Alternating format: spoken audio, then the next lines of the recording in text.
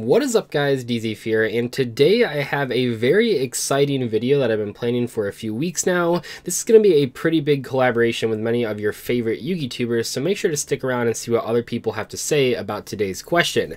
The question for today is what is the best new card of 2019, or what is your favorite new card of 2019?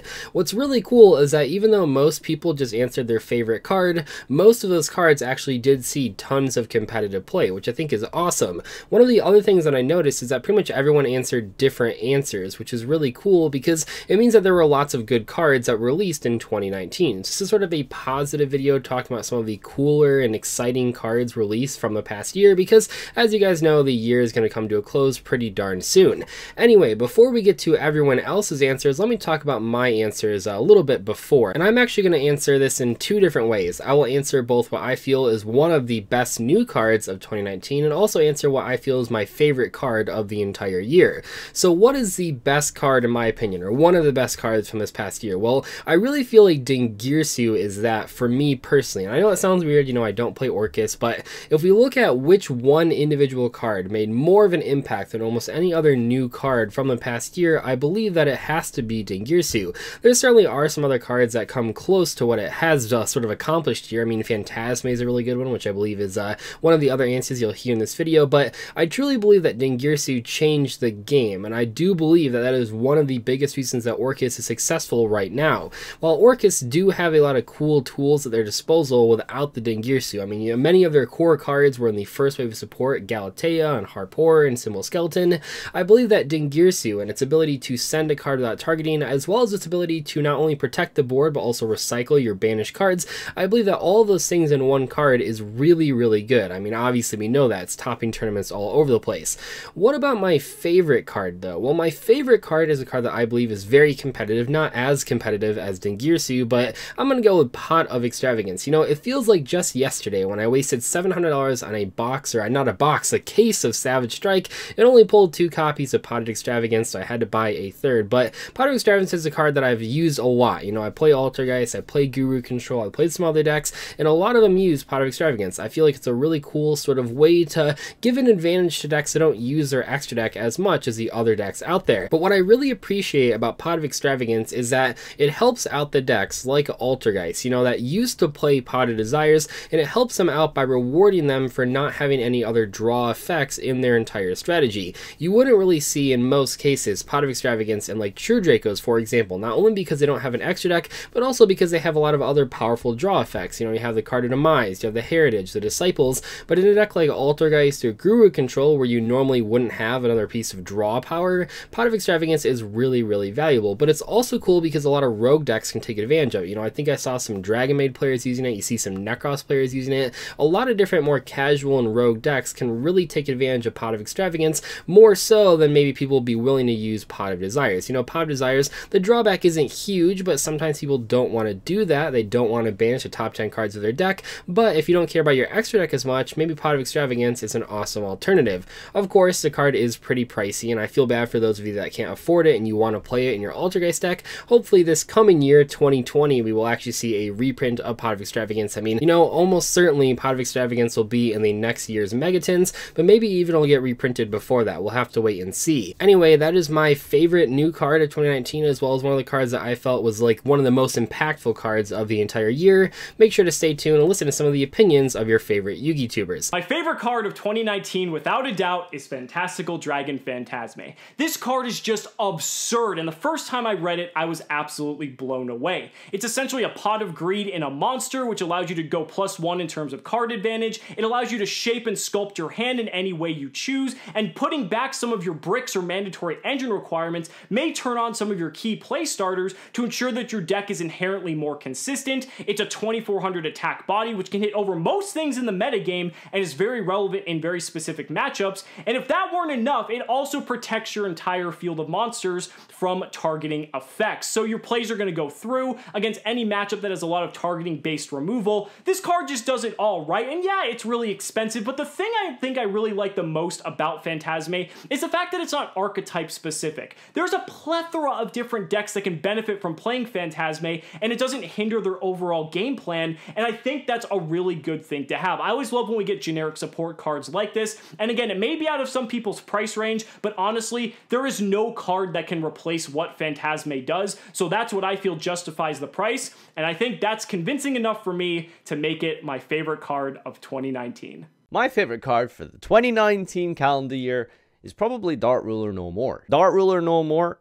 is a card which wins the game. The problem, however, is that combo decks haven't been necessarily too great. If you ever are paired up against some kind of a combo deck, or you know someone at your locals or regional is going to be playing some kind of heavy combo deck, this card is insane. Probably to the point it's like a little bit unfair. I'm sure this card will see much more play in the future when we do see some more combo heavy decks, especially with Needle Fiber coming out in just a few months. Until then, Dark Ruler no more. Hey guys, it's Paul from Team APS, and my favorite card to release this year is Gizmek Orochi, the Serpentron Sky Slasher. So I think that this card's actually incredible. It's such a versatile card. You can use it in a lot of different decks. Even though we see it used in things like Orcust, you can technically use it in anything. Yes, the cost is kind of steep. Banishing 8 cards off the top of your deck isn't always very fun, but the fact that you can get a free beat stick that's 2450 in attack and defense even in your opponent's turn, is actually really strong, and you can even pop cards with it. And you can use it for so many different things. It's, you know, material for Xyz monsters, material for Link monsters, it's a Dark Machines, there's a lot of synergy there, and it looks really nice too. I'm actually looking forward to the entire Gizmek series that seems to be coming out, so yeah, it's easily my favorite card of the year. Hi guys, my name is Sam from the YouTube channel Team Samurai X1. I recently started Yu-Gi-Oh! tubing is that what you guys call it? Thank you so much for featuring me on your channel today. And let's talk about my favorite Yu-Gi-Oh card of 2019 and why. My favorite Yu-Gi-Oh card of 2019 has to be Great General of the Six Samurai, aka Battle Shogun of the Six Samurai. I've been waiting for this card to come out for the past year now, and I'm just really glad that we got this card out of the Chaos Impact Special Edition. My YouTube channel is actually based off of Six Samurai. Six Samurais is my favorite archetype, and especially my favorite card in that deck is Gateway of the Six. Gateway of the Six is at one.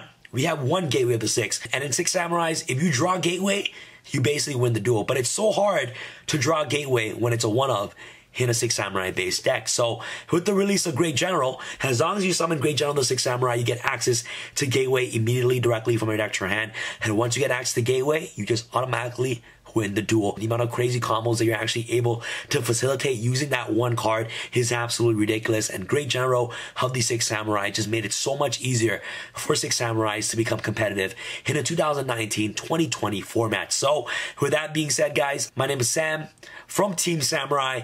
I love Six Samurais and I love Battle Shogun of the Six Samurais. And yeah, that's my favorite card in 2019. What is yours?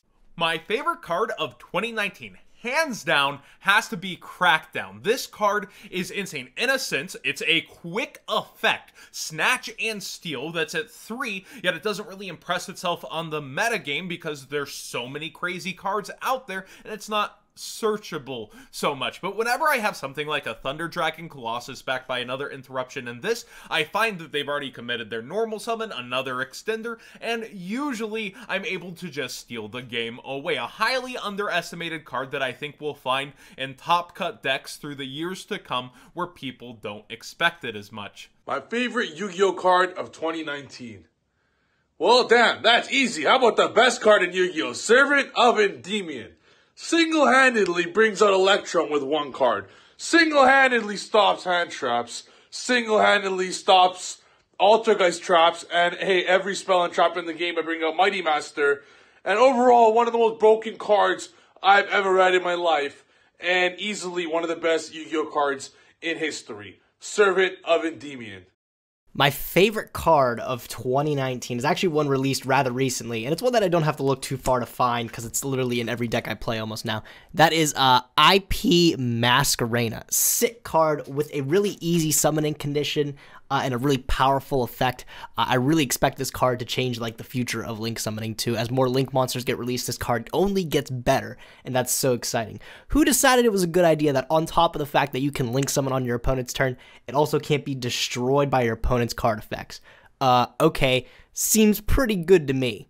For 2019, I think my favorite card is a two-way tie. If I had to pick a card that's actually good that I enjoy playing, Marincess Coral Anemone would be the card I would pick. This generic Water Link 2 monster, made of just two water monsters, lets me summon one of my swap frogs from the graveyard, and the arrows are pretty nice. Also, it has a similar floating effect to Toadally Awesome, so it just means you get to recur a little bit of your advantage back. It's neat, I really do enjoy the card and the boost it's given to some of my favorite decks. However, if I had to pick a card simply based on, I don't know, just because I like it, Squirt Squid.